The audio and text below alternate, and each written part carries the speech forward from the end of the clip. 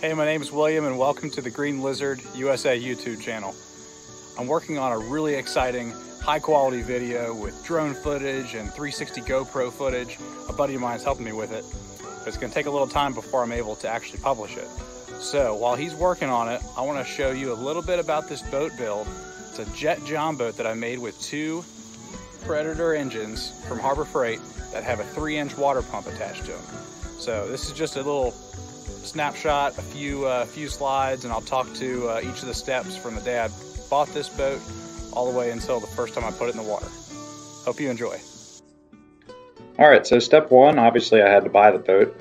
I paid $700 here locally in Richmond, Virginia for a 1978 Alumacraft John boat that was 15 feet long and about 5 feet wide in the back, and that came on the trailer with a trolling motor. The trailer was in pretty rough shape, so I was very happy when I got it home and parked it in front of my garage. Here's what the front of the boat looked like.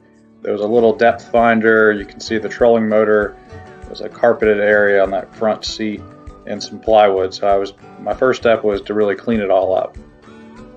The back of the boat had the same kind of setup, a single seat and some plywood on the floor. So I pulled that up and started cleaning it. The trailer was in pretty rough shape, but the first thing I wanted to do was just uh, go ahead and put lipstick on the pig, and I painted the green trailer black just for aesthetic reasons. And you can see all the uh, taped off areas I didn't want black spray paint, and I'd bagged the wheels and uh, put on a mask and started shaking the rattle cans.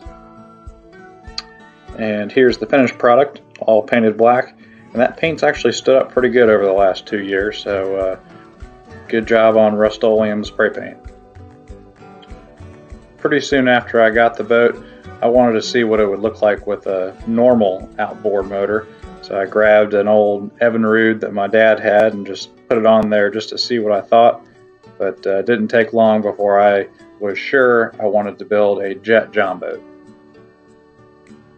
So in one of those first pictures, you may have seen that carpet on the front of the boat or the bow of the boat ripped the carpet off and started scraping away at all the carpet glue to clean up the front of the boat. I wanted to take everything back to just raw aluminum so it wouldn't have any nasty stains or smells.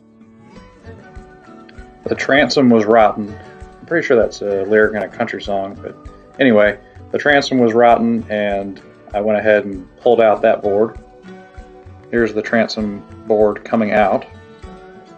You can see more of the rot behind the transom there on the left side. And on the right, you can see the hardware I used. I picked basically one type of bolt to use for everything on the entire build. So it was a quarter 20 type bolt, all different lengths, bought them from McMaster-Carr. And it was really easy because all I needed was one Allen wrench to stick in the head and one regular wrench to put on the nut. I took the old rotten transom and actually laid it on a piece of treated three quarter inch plywood and sort of traced what I knew I needed to make. And this is just another picture of the layout for the transom and firing up the worm drive skill saw to make the cut. So once I finished doing all the cleaning and getting the seat removed and the transom and scraping all the carpets off, this was as clean as it was going to get. So at this point, it started getting pretty exciting because I actually bought another water pump and had both of them in the boat and started to visualize what I was trying to make. Here's a little doodle I came up with. Uh, looks like that's dated back in April of 2020, right after COVID hit. Of course, you know, in the midst of a pandemic and a crisis, you know, it would make sense to start another big project. So I started sketching out some ideas, and you can see the boat and the pump sort of layout, and we'll keep on going. This may mean more to some than others, but this is the performance curve for the pumps that I bought from Harbor Freight. It shows the discharge head, or basically PSI, on the vertical axis and flow on the horizontal axis. It says discharge head on the on that vertical axis, but if you divide each one of those numbers by two, it basically gives you the PSI and then the corresponding flow rate. I have a few pictures here just so you can see the pumps located in the back. This picture is one angle and I have two more. Here's another angle, kind of looking at it from the side. Here's a third angle looking at it from the other side, the opposite side of the pump. And at this point, I don't really know how serious I was, but one of my good friends suggested that maybe I put a third pump in here. So I pushed the two pumps apart to see if I could stuff in a third one and ultimately decided not to. These are my motor mounts. So basically I attach the motor and pump to these little blocks. Super simple, just countersunk holes. I could put the hardware up in there and attach it to the, the engines and the pumps. But basically that allowed me to fix a piece of wood to them so then I could easily attach those pieces of wood to the pieces of what I had mounted in the boat.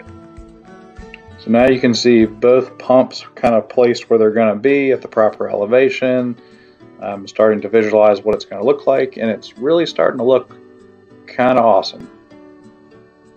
Here's another image so you can kind of see the frame I built and attached to the ribs inside the John boat. So all that's just you know, regular untreated 2x4s and I attached those to the boat. And then you can see those engine blocks or motor mounts, whatever you want to call them, that then allowed me to shift the pump and the engine around easily and then screw through those blocks into the frame on the boat. Here's another view of the frame and the motors sitting on their little motor mounts. Pretty simple setup. This is not a you know, an entry in a beauty contest. I was going for functionality here. At this point, I had attached a few of the plumbing fittings that threaded onto the pump housing and had bought the flanges that I would attach to the floor. Those were Schedule 80 gray uh, pipe flanges like you'd bolt a, a large pipeline together with. Um, that's what I used to mount to the floor of the boat. And then brought that up with an elbow and was starting to plan out how I'd tie it in and then exhaust it over the back of the transom. While I was building this boat, I guess my two year old at the time came out and wanted to play, so he got to play with all the pipes.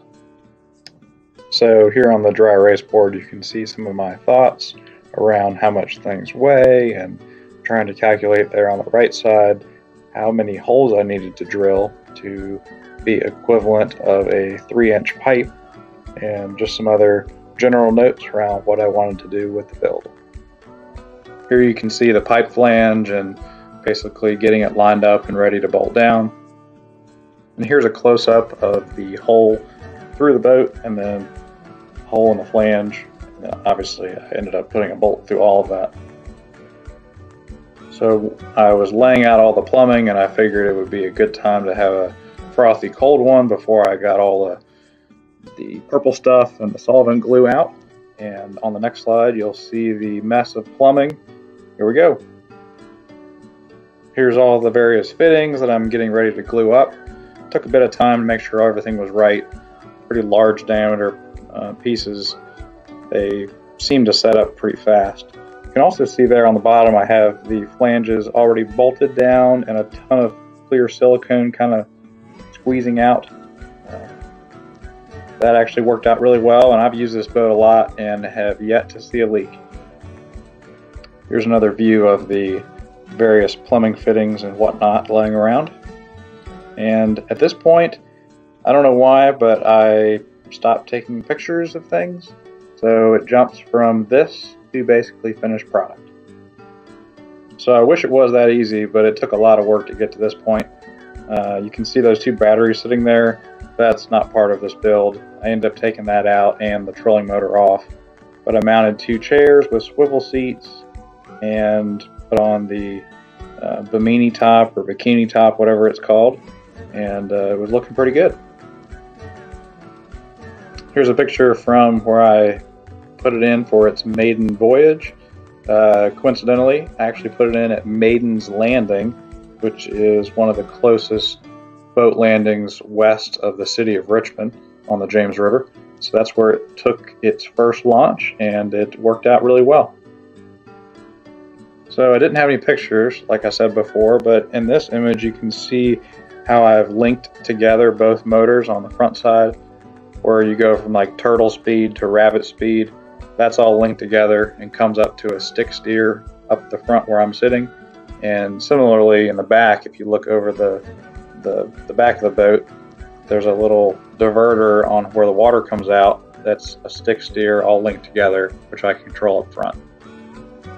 So there it is, that's the boat, and I thought that was a pretty cool image because you can see my very homemade or DIY boat sitting next to a legitimate jet boat, which I think is a, a Rhino jet. Uh, that thing probably has like a probably a 50 horse Mercury on there, and that thing can fly up the water. But uh, pretty cool to see. At the end of the day, they're they're pretty comparable, and uh, had a lot of fun making it. So enjoy the video coming up next.